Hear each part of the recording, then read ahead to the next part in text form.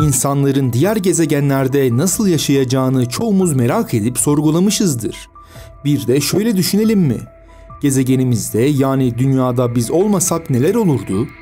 İnsansız bir dünyayı hayal etmek bu gezegendeki etkilerimizi de anlamamızı sağlayacaktır. Hadi bizler olmasak dünya nasıl bir yer olurdu? Hep birlikte bakalım. İyi seyirler.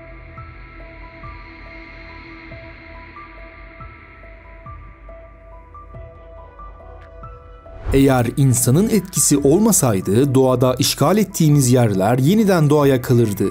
İnsansız bir dünya olduğunda zamanla ormanlar büyüyecek, otlaklar gelişecek ve ekosistemler tekrar dengeli hale gelecektir. İnsanların zorbalığından kurtulan hayvanlar, ağaçlar, ormanlar ve birçok şey özgürce yaşamını devam ettirebilir. Bazı türler insanlar olmadan daha iyi yaşayabilirken bazıları ise insan müdahalesi olmadan zorluklar yaşayabilirler. İnsanların olmaması iklim değişikliği ve kirlilik konularını önemli ölçüde etkileyecektir.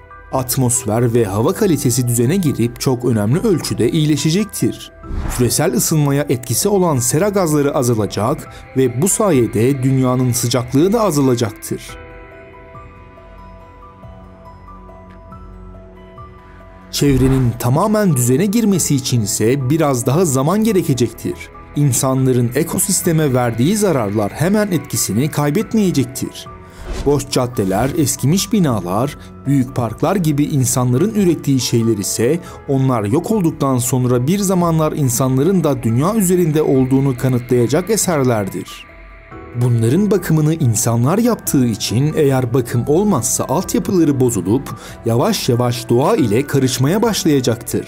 Betonlar ise yeşil alanlara dönüşecektir. Bazı terk edilmiş alanlar ise insanların var olduğunu hatırlatacaktır. Bazı tarihi yerler ve sanat eserleri zamanla da olsa sağlam kalabilir. Doğanın zamanla düzelmesi, sanat eserleri ve tarihi yerlerin var oluşu korkunç gözükecek ve insanın yaratıcılığını hatırlatacaktır.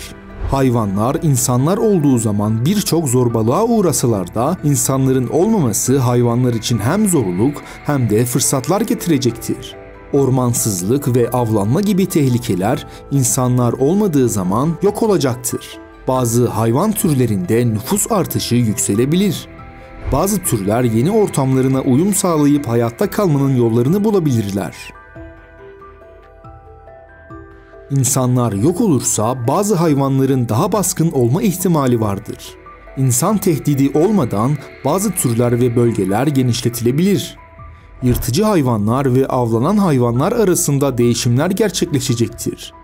Doğa kendi dengesini özgürce bulabilecektir. İnsanın sebep olduğu gürültü kirliliği insanlar yok olduktan sonra artık olmayacaktır. Trafik sesleri, kalabalık ortamlar ve insan faaliyetlerinin sesleri kaybolur. İnsan gürültüsü yerine yaprak sesleri, kuş cıvıltısı ve rüzgar uğultusu gibi doğal sesler hakim olacaktır. Büyük binalar, kentleşmiş manzaralar yerini doğanın yeşil, güzel manzarasına bırakacaktır.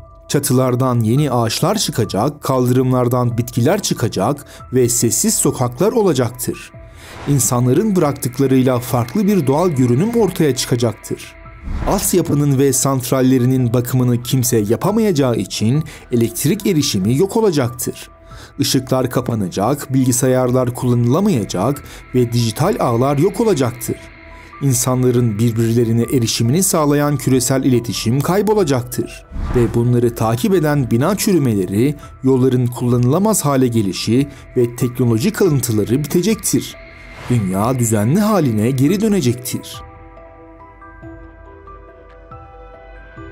Başka bir videoda görüşmek üzere.